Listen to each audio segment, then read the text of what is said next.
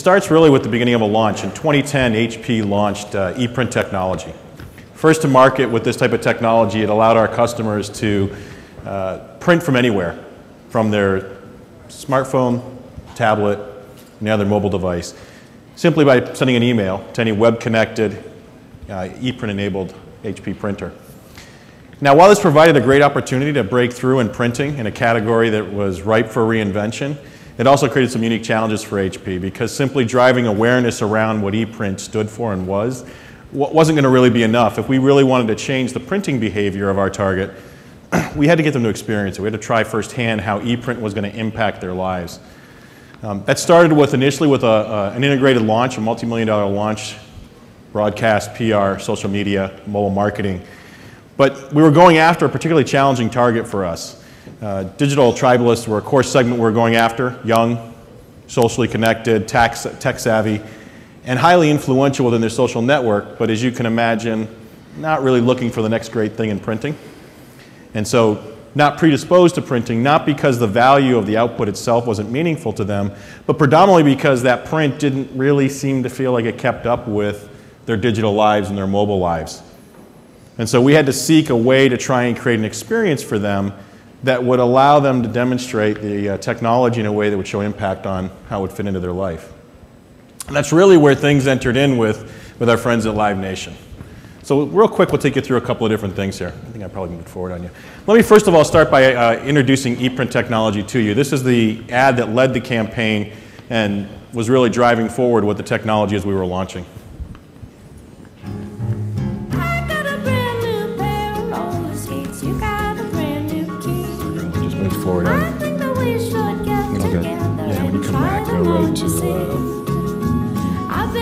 I'll just talk about it. Oh, now you can send photos straight to your printer from any mobile device. Okay, now let's send one dance, Susan. Introducing the new web-connected printers with ePrint from HP. So you can go forward to two slides. So really the challenge was how do you drive awareness about this technology with a target that isn't really sitting around waiting for the next great thing in printing. Beyond awareness, we knew what we had to do was actually drive an experience with it. We had to find a way to intersect with this target in a way they could try the technology and actually engage in it in a meaningful way that fit into their lives. And that's really where things entered in with Live Nation. It gave us the opportunity to target a very specific target around this digital tribalist group and give them the opportunity to intersect at two major passion points, and that was music and technology. Russell? Yeah, so we had been talking to HP for, for some time, trying to figure out how we could take their incredible technology and integrate it into our music platform. And we had tried under a number of times and never found that right connection. And when we started to learn more about the ePrint technology and as uh, Tariq and his agency started to talk to us about this digital tribalist, we are like, wait a second, you're talking about our music fan. You're talking about our consumer. If you think about the core music fan, they're connected 24 7. They're the influencers, right? They're telling their friends about the latest bands. They're telling their friends about the shows that they want to see. They really are into technology and gadgets. So we are like, we think that we may have something here to try, to try and build together. So our first step was sharing with HP what not only Live Nation's music platform was, because that was part of it, but really this was about engaging them in the overall music experience. So if we could just run this video.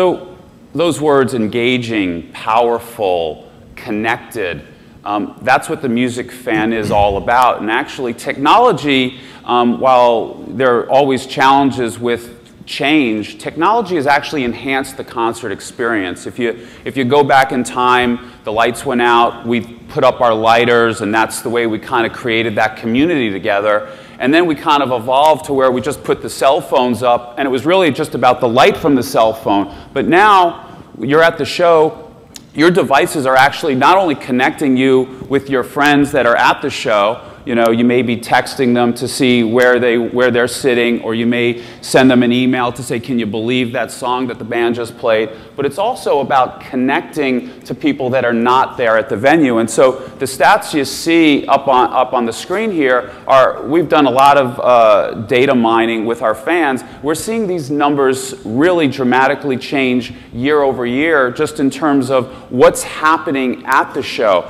But really interestingly is that while it's, of course, a social experience, it really is this emotional experience. It's this experience, the live show, that you want to share with your friends. We talk a lot about there, there's, there, there's few people that would not remember their first concert.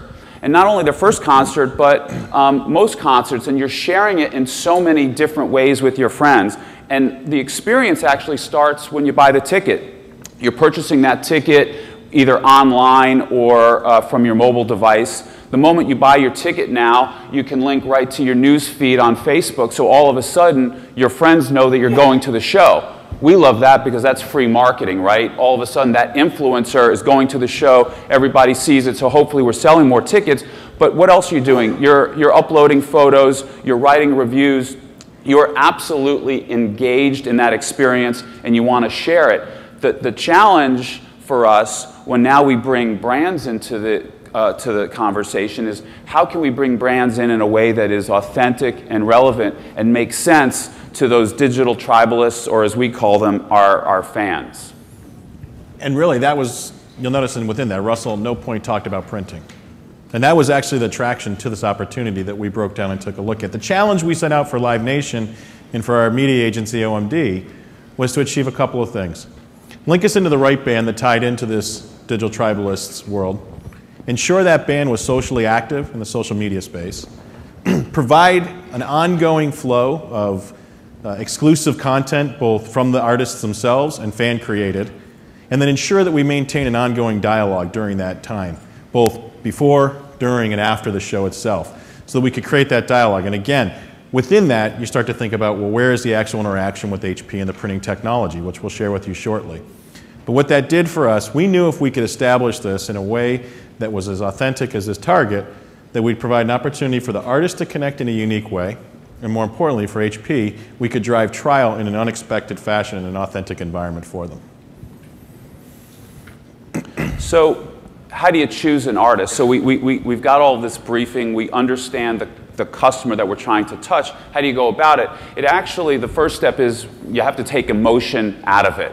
Because everyone we meet, every single person from Tariq to every agency person on his team, likes a different artist, likes a different band, and thinks their band is the best. So we have to take emotion out of it. This is about finding the right act. So we actually um, really focus on the, da- on the data. Um, let's look at everything from record sales, ticket sales. Is it what trend is it on? Let's look at what the chatter is online. Let's look at what size their social communities are. Let's you know really look at everything in the context of this artist and then also some things that you know from an industry knowledge perspective what's the perception of them with other brands that um, have worked with the band has it been positive do they, are, they, are they sponsor friendly? Are they fan friendly? How do they interact? It's great that they have a lot of followers, but how do they interact with their fans? We wanted to really look at everything, and the more we looked at it, quite honestly,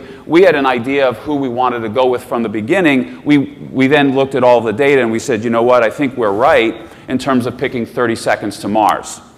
Unbelievable band, um, but it was really when we looked at it, the band itself, as well as Jared Leto, the, the lead singer, incredibly digitally focused. They, the band actually created their own social media agency. They literally think of their fans as part of their family. They're, they're on Twitter and Facebook 24 7 around the globe because they truly are a global um, uh, artist.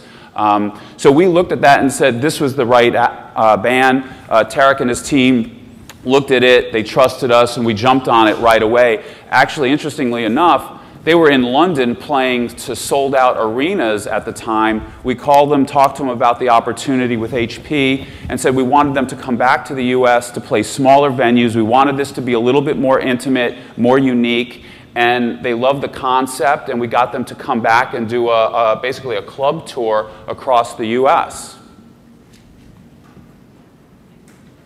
So we now have the right artist or the band and the brand is on board. And you heard Tariq talk about, you know, really thinking about how this all comes together. And this is about activation. Actually, many brands don't even have the opportunity to get to this point, right? They may take the safer route, a TV spot or an advert, uh, or just a simple online ad buy, but they don't get out of their comfort zone where you're actually going to have to deal with artists, you're going to have to deal with fans, you're going to really have to activate on the ground. And so we worked very, very hard to build an activation strategy that really was going to engage this digital tribalist throughout the entire process before, during, and after the show. That was really our goal in coming up with our activation strategy. So we'll start with before the show. Really, two main promotions. One, we wanted to find the ultimate 30 Seconds to Mars fan. Well, this is where step one, where we brought the um, ePrint technology in. The fans actually had to send their photos via the ePrint technology to the band, and the band was going to choose the ultimate 30 Seconds to Mars fan. And that winner, we were going to fly them down to Atlanta. They were going to get to hang out with the band, full access to the venue, backstage, meet and greet, really be treated to that unbelievable experience.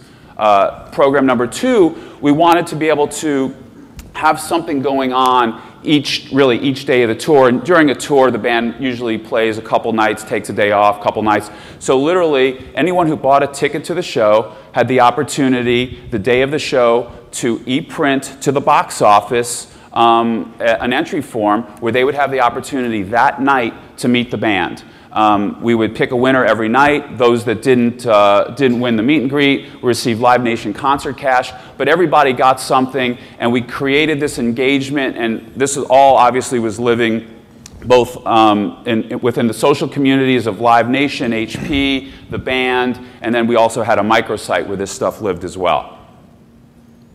Just a couple of examples of some of the photos that were, were sent in. Um, and we had over a thousand uh, fans send in photos. So uh, Jared Leto back uh, a few years back had a mohawk, so we had some mohawks. Some fans did some pretty interesting things with, uh, um, that's actually the band's logo. Uh, here's uh, somebody who decided to put decals all over their car. That must have been fun to take off. And here's, you know, we had the band actually sitting in a room and deciding which, which fan they were going to choose. We actually created content from this that also lived up on YouTube and on the respective uh, social media platforms. And there's our winner. Uh, great Mohawk, uh, unbelievable. Uh, Ivy and her friend flew to Atlanta, had this great experience. Again, we, we compiled all of this content so all of the 30 Seconds to Mars fans could see what the payoff was. And again, we, we, in a, in a very strategic way, contextual to the promotion, we're able to integrate HP's technology and ePrint into the promotional program and into the experience. Do you want to talk yeah, about the sure. social outreach? I think the big thing that, that Russell touched on earlier is the step that the brand had to take. We viewed ourselves as integrating into an existing concert tour, not the other way around, a concert tour in which we saw an expression of the brand, the band. we needed to find a way to make sure that this experience was authentic and to do that, we had to ensure that the experience was authentic. Um, collectively, we supported it, uh, Live Nation, 30 Seconds to Mars, and HP. We supported across our, our collective websites. We developed the content material to work through the social networks. Uh, we supported media in the tour markets where the, where the bands were playing. and we really opened up broader uh, social media networks beyond those who were going to attend the show, including from an HP ePrint technology perspective, the demos that, of how this technology work also sat within the digital framing online. So even if you weren't attending the show, you were going to get an opportunity to experience this 30 second to Mars, Mars uh, experience through our technology online or at the show itself, allowing us to sort of expand our sphere of who we were trying to speak to and, and successful. When, once we got to the show itself, um, and I think we've got some photos of that, um, you had the opportunity to really experience ePrint firsthand. So there was an interactive photo booth that was on site. Uh, fans were able to go ahead, take pictures, ePrint directly from their phone to ePrint enabled printers on site. And 10% of our audience walked away with uh, custom 30 second to Mars memorabilia um, from HP that they were able to go ahead and do there on site. That same experience continued to live on post concert, and they were able to go ahead and experience those elements uh, as they move forward.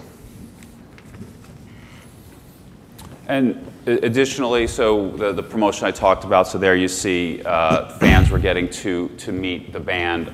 Um, you know, at, at each venue. The other thing that's interesting, and go, just going back for a moment on the social media piece, actually 30 Seconds to Mars, while it wasn't part of our contract that they had to do things within their social media promoting HP and ePrint, they actually did it on their own. They loved the program so much and they loved the fact of what HP and ePrint were doing for their fans that they really did engage with it. Um, so that for us was a huge win because not all artists are, are going to take that step, but they actually loved it. And you'll, you'll hear later from Jared Leto, but in, in terms of how you approach an artist and how you approach a program with, with a celebrity, maybe in general, um, the, the, this collaboration um, that, that we talked about is really what, um, what wins. Um, this same thing with this photo of the day. This was an idea that the band had. All of a sudden they said, why don't we put up a different photo every day um, from the show, whether it was snippets from the show, whether it was a fan photo. So the band actually decided to do this. And that was a way, again, that the technology could then be used because you were able to e-print those photos in or you could send them in. So it was, a,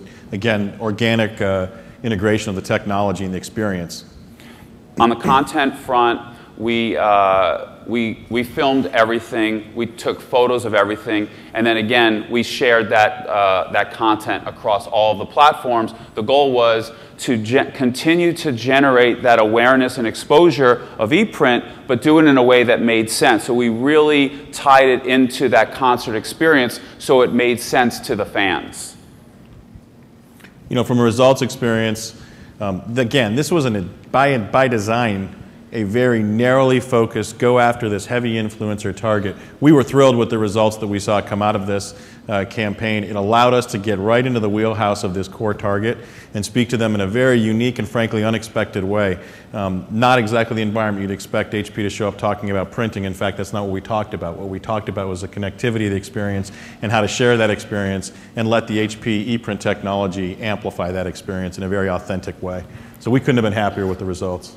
And, and really, from the results from our perspective, it was great. We sold out the shows, but really, we built a new model. Um, we built a model that we were able to demonstrate and we'll be able to demonstrate to future brands of the right way to integrate into the concert experience, um, how to be really focused and targeted, how to build activation programs and platforms that meet the needs of your target as well as the fans. So we think that the, the learning from us was really the, the, the way you're able to integrate um, a brand into a concert experience that's truly organic. So we'd like to run this video and you can hear a little bit from uh, Jared Leto about, about his uh, experience working with uh, HP.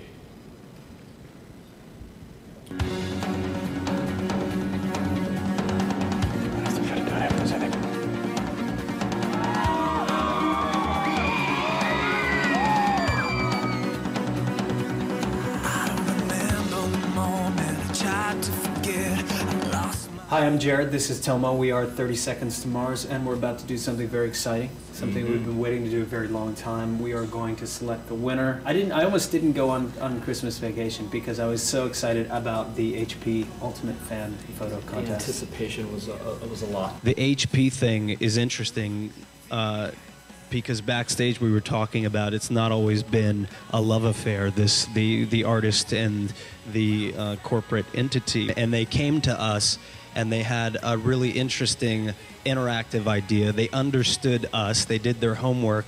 Uh, they they understood our audience, and they presented us with something that seemed uh, really smart and collaborative and productive. And they had a great product, and uh, it was a really successful uh, um, uh, experience. And it really changed the way that we thought about working with uh, brands on tour. Look at this. Wow. This is pretty great too. I mean, that puts my mohawk to shame, doesn't it? It really does.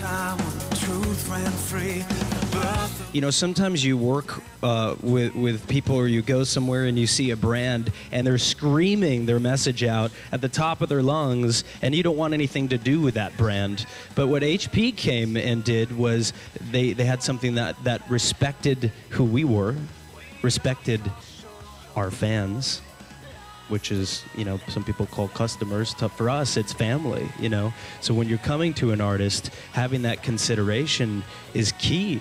And what we found is that everyone that was there had the same response too because we talked to kids about it. We talked to people that were at the shows because we happen to care um, what they think.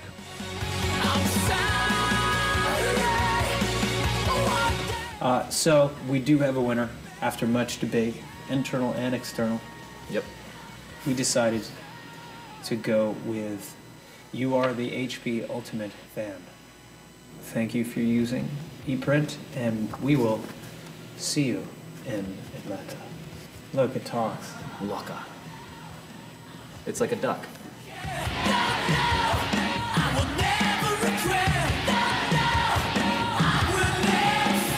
So that's a good note to end on. Uh, We could probably hire Jared because he probably had done that whole presentation for five minutes of that video, but thanks very much. Thank you.